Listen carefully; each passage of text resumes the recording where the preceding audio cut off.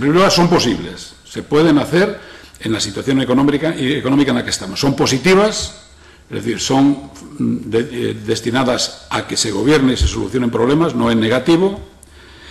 Defienden la sanidad y la educación públicas, mejoran la protección social de manera sensible, fomentan los planes de creación de empleo, fundamentalmente en los nuevos yacimientos de empleo, se centran también en el desarrollo rural y apuestan por proyectos importantes en todo Cantabria, pero de manera singular en Santander y en Torrelavega.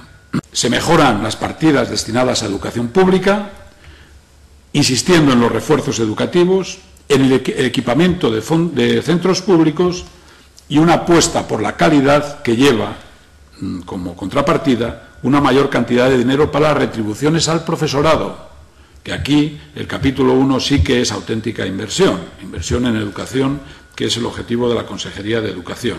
En primer lugar, potenciando la sanidad preventiva. Para nosotros es fundamental porque es la base de una racionalización del gasto y evitar que luego la sanidad especializada tenga unos problemas que se evitan en esta primera atención correcta. Hay que potenciar la atención primaria, está muy maltratada en este presupuesto, y hay que cambiar el modelo de consideración del enfermo. Hay que empezar a cambiarlo.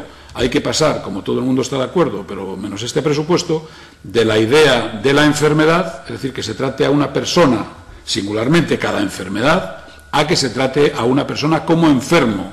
Apoyamos los nuevos yacimientos de empleo, con nuevas oportunidades económicas, como por ejemplo el, apoyo al comercio minorista, la feria de muestras de Torre la Vega, nuevas inversiones en turismo, como por ejemplo el proyecto de innovación artificial de Alto Campó, el teleférico de Peñacabarga o el apoyo a emprendedores en el ámbito del turismo y de la hostelería. Estos presupuestos también apuestan por la universidad, que es otra perjudicada en los presupuestos del Gobierno, y apoyan en general la investigación. Y se inician, o se plantea que se inicien, programas de I de vinculados a sectores de futuro, como las nuevas energías o el medio ambiente.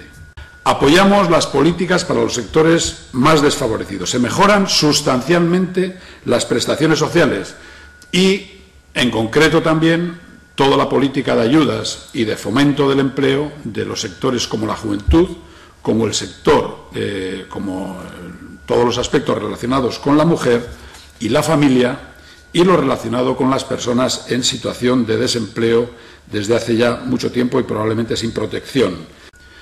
Nos ha sorprendido muchísimo eh, el tratamiento que estos presupuestos dan a la ciudad de Santander, donde desaparecen todas las obras que antes eran extraordinariamente importantes y no solo eso, sino que no se hace ningún planteamiento realmente eh, importante para la ciudad.